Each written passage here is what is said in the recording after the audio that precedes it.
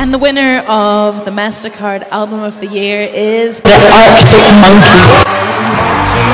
This is the third time the band have won British Album and British Group Award, making them the first act in Brit history to do so.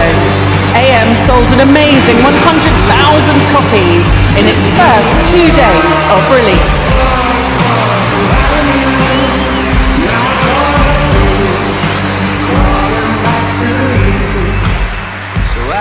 Have got the good? Been wondering if your heart's still open. Thank you. Thank you. One, two. One, two. There we go. That rock and roll, man. That rock and roll, it just won't go away. It'll, um, might hibernate from time to time and sink back into the swamp.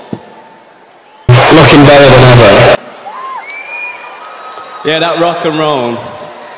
And uh, I think the uh, cyclical nature of the universe in which it exists demands it adheres to some of its rules.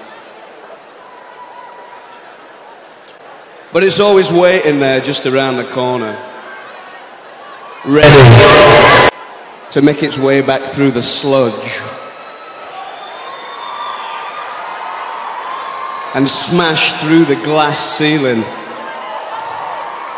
Yeah, that rock and roll. It seems like it's fading away sometimes, but uh, there's nothing you can do about it. Thank you very much for this. I do truly appreciate it. Say that the wrong way. And uh, yeah, Invoice me for the microphone